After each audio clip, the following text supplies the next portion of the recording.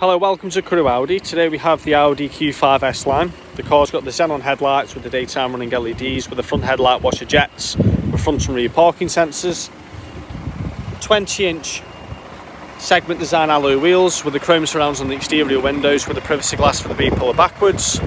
Full electronic power tailgate with the LED backlights. Now this is an Audi user approved vehicle so you will get the two years warranty and the two years roadside assistance from the manufacturer. Moving to the front of the vehicle,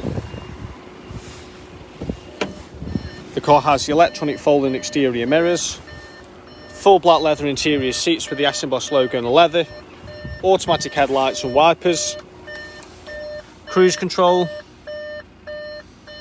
Audi's MMI display technology pack with navigation, heated front seats with dual digital climate control and a 7-speed S-Tronic automatic gearbox.